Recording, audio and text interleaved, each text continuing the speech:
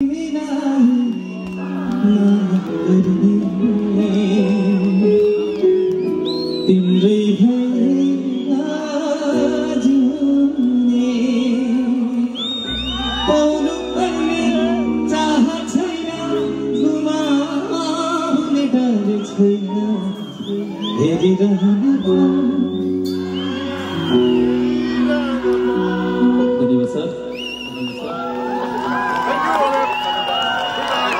सम्पूर्ण टिमलाई धन्यवाद भन्न चाहन्छु विशेष गरी तपाईँलाई धन्यवाद। हाम्रो प्रेसको जति पनि दाजु दाजुभाइहरू हुनुहुन्छ। विशेष गरी म त हाम्रो यहाँ तपाईँको रो रोलेप टुरिज्म डेभलपमेन्ट सोसाइटी कमिटीहरूलाई पनि धेरै धेरै बधाई पनि दिन चाहन्छु। उहाँले आज हेर्नुहोस् त आज हाम्रो तपाईँको पुष्पन प्रधान जस्तो अजय प्रबल जस्तो प्रकाश बस्ने जस्तो प्रितम छेत्री जस्तो आज उहाँले यो जग्गा रोलेप जस्तो जग्गामा लिएर उहाँले आज यो जग्गामा तपाईँहरूले इन्टरटेनमेन्ट गराउनु भनेपछि आज उहाँले एउटा रोलेप जस्तो जग्गामा चाहिँ तपाईँहरूले ब्रान्डिङ गर्नु खोजेको कि यहाँ चाहिँ तपाईँको टुरिज्मको पोटेन्सियल पुरै धेरै मात्रामा छ। अनि उहाँले यो मेसेज पनि दिन चाहेको तर आज जुन चाहिँ कार्यक्रम मैले देखेँ यति साह्रै नै कार्यक्रम थियो। साथसाथमा आज उहाँको टुरिज्म डेभलपमेन्ट कमिटीले त हाम्रो जति पनि रोलेप स्कुलका जति पनि भाइ बहिनीहरूलाई जति पनि आज स्कुल टपर्सहरूलाई छ तपाईँको तपाईँको क्लास टेन टपर्सहरूलाई पनि उहाँलाई आज फेलिसिटेट गरेको छ। र साथै हाम्रा प्रितम प्रितम छेत्री भाइ जुन चाहिँ अस्ति जी ट्वेन्टीमा जुन चाहिँ बाँसुरी बजाउनु भयो यहीँ यहीँ गाउँकै रहेछ। आज उहाँले पर्फर्म गर्नुभयो। यति त्यो पर्फर्मेन्स देखेर त हामीलाई भित्रैबाट कस्तो कस्तो भएर आयो कि आज हामीलाई खुसी पनि लाग्यो कि सि आज सिक्किम अनि रोलेप जस्तो जग्गालाई पनि हाम्रो यो खालको भाइहरू रहेछ भनेर उहाँलाई फेलिसिटेट गर्दाखेरि हाम्रो यहाँ टुरिज्म टुरिज्म डेभलपमेन्ट कमिटीलाई रोलेपको टुरिज्म डेभलपमेन्ट कमिटीलाई धेरै धेरै बधाई पनि दिन चाहन्छु। र योभन्दा अगाडि पनि म दुई हजार तपाईँको बाइसमा म फिफ्टिन अगस्तको दिन हाम्रो यहाँ टुरिज्म यही यहीँकै रोलेपको कमिटीले मलाई बोलाएको पनि थियो। एज अ चिफ गेस्ट भएर आएको थियो फिफ्टिन अगस्तमा। मैले त्यो टाइममा पनि उहाँलाई धेरै उयो गरेको थिएँ तपाईँको एउटा मोरल सपोर्ट दिएको थिएँ तर आज त्यही देखेर आज मलाई पनि आज उहाँले मुख्य अतिथि बोलाउनु भएको छ। र उहाँलाई पनि आज टुरिज्म डेभलपमेन्ट कमिटीलाई पनि म उहाँलाई पनि म धेरै धेरै धन्यवाद पनि दिन चाहन्छु। र आज हामीलाई एउटा केही यहाँबाट एउटा नलेज पायौँ कि हामी पनि यस्तै कन्सर्ट चाहिँ अब गाउँ बस्तीमा हामी पनि गर्नुपर्ने रहेछ भन्ने हामीलाई महसुस भयो। एउटा नि तपाईँ पनि। एउटा कुरा तपाईँलाई म यहाँ भन्न चाहन्छु।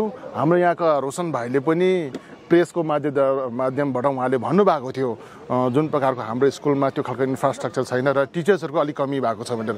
तर त्यो प्रेस कन्फरेन्स हुने बित्तिकै सायद दुई हो कि तिन दिनमा हाम्रो सिएम साहब मैले भने त सम्माननीय मुख्यमन्त्री साहब त यति साह्रो पोजिटिभली पोजिटिभ हुनुहुन्छ उहाँ चाहिँ।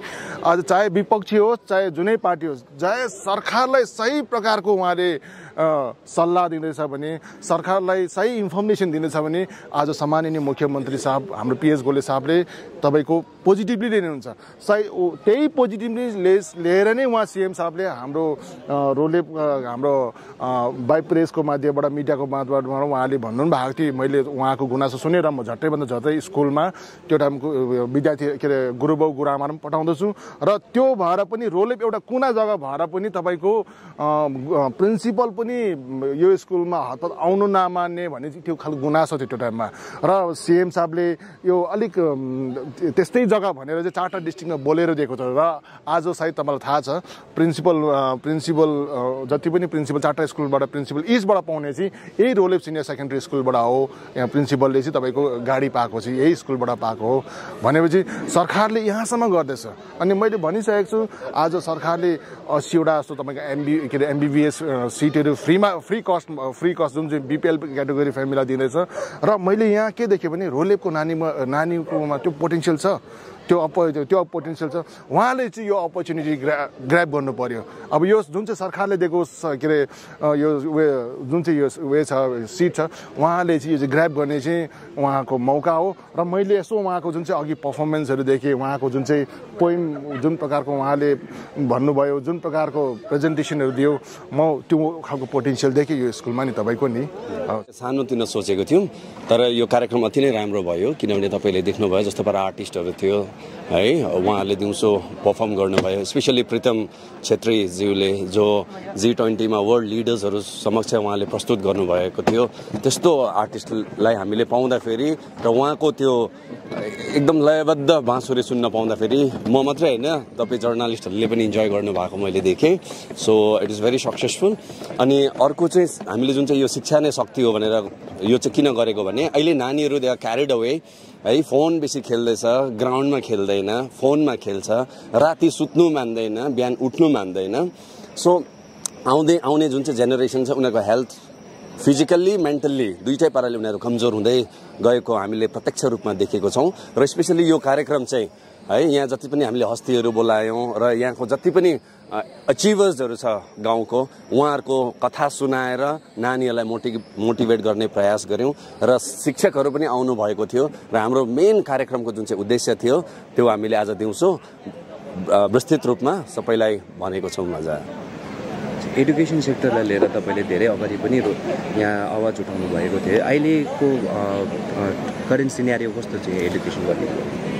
अलिकति पहिलाभन्दा स्टाफहरू अलिकति राम्रोसँगले छ तर पनि हामीले जुन चाहिँ एउटा मोमेन्टम पाउनुपर्ने थियो है नानीहरूले जस्तो पाराले चाहिँ अहिले कम्पिटेटिभ वर्ल्डमा अब नानीहरू अहिले अगर सिक्किमको हामीले कुरा गऱ्यौँ भने सिक्किममा ताक्से इन्टरनेसनल स्कुलहरू जस्तो छ। है। तपाईँको हली क्रस छ टिएनए छ यस्तो राम्रो राम्रो दार्जिलिङ कालिम्पोङको स्कुल्सहरूमा सिक्किमका पेरेन्ट्सहरूले पढाउँछ। अन्त भोलिको दिनमा कुनै पनि एक दिन भ्याकेन्सी आयो भने चाहिँ त्यो नानीहरूसँगै कम्पिटिसन गर्नुपर्ने हुन्छ एउटा गभर्मेन्ट स्कुलमा हामी तपाईँले देखेको छौँ हामी गान्तोकमा जाँदाखेरि म बस्तीबाट बिलङ गर्छु तर पनि हामी ड्रेस कोडमै चिन्छौँ कि त्यो नानीहरू चाहिँ कुन चाहिँ स्कुलको रहेछ भनेर। पिएनजीको लुगा लगाइरहेको देख्छौँ या टिएनएको देख्छौँ या केटजीको देख्छौँ है। तर जति बेला हामीले देउराली गर्ल्स स्कुलको नानीहरू देख्छौँ गभर्मेन्ट स्कुलको ड्रेसमा देख्छौँ हामीले नै उनीहरूलाई पनि डोमिनेट गरेर हेर्ने गर्छौँ। किनभने त्यो चाहिँ सरकारी स्कुलको थियो। तर सिक्किममा देउराली गर्ल्स स्कुल चाहिँ one of the well equipped school हो। है त्यस्तो स्कुललाई त हामीले त्यस्तो कमजोर पाराले हेर्छौँ हो भने यस्तो गाउँको यस्तो विकट ठाउँको स्टुडेन्ट र स्कुलको हालत चाहिँ कस्तो होला?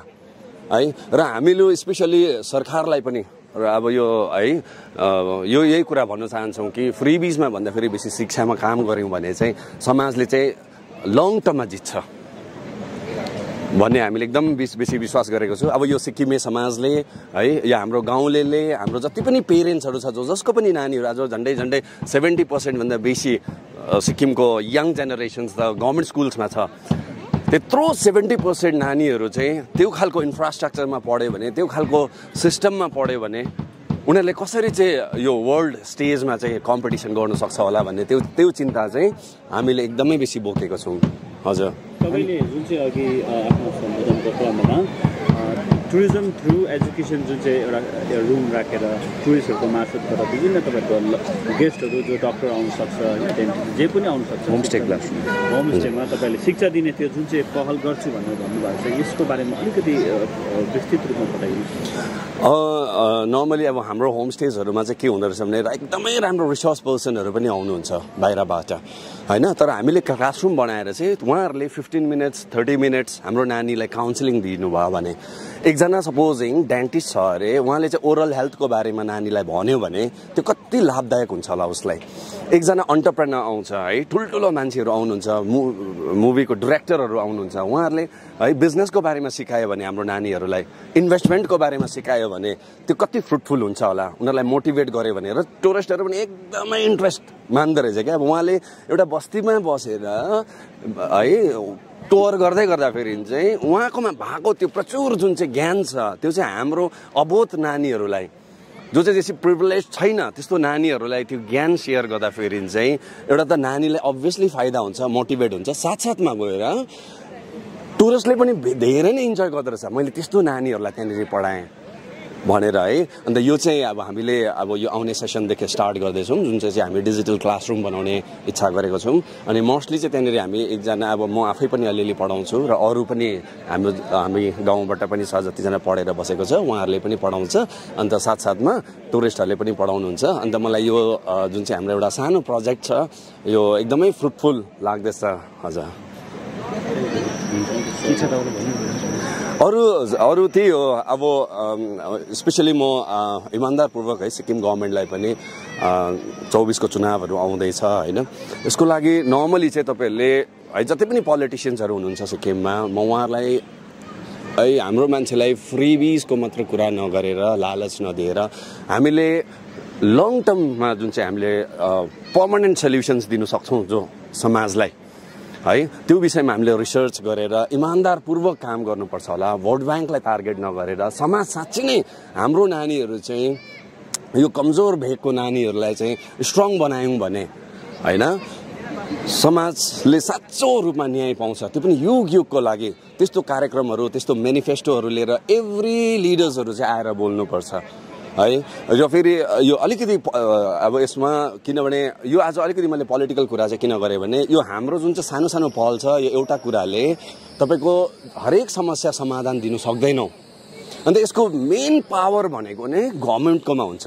जहिले गभर्मेन्टले राम्रो पोलिसिस र प्रोग्राम्स लियो भने है जनतालाई मात्रै फोकस नगरेर भोटलाई मात्रै फोकस नगरेर मान्छेलाई बुझाएर मान्छेलाई अवेरनेस दिएर यदि हामी त्यो कुरामा काम गऱ्यौँ भने यदि गभर्मेन्ट स्कुल जति पनि छ है त्यसमा चाहिँ अरू कुरा त एक्टिभिटी हुनैपर्छ साथसाथमा हामीले त्यो गभर्मेन्ट स्कुलको नानीहरूलाई चाहिँ इङ्ग्लिस चाहिँ स्ट्रेन्थन गरिदियौँ भने होइन हाम्रो नानी चाहिँ यो आजको वर्ल्डमा चाहिँ धेरै अब्बल भएर आउनेछ आज इन्टरनेटको जमाना छ है वर्ल्ड तपाईँको फोनमा छ भने त्यो फोन नै राम्रोसँग चलाउनुको लागि त्यो इन्टरनेट नै राम्रो चलाउनुको लागि त्यो बिजनेसै राम्रो चलाउनुको लागि पनि मान्छेकोमा इङ्ग्लिस चाहिँ हुनु आवश्यक पर्दो रहेछ। र हामी तपाईँले देखेको छौँ इङ्ग्लिसमा शक्ति छ।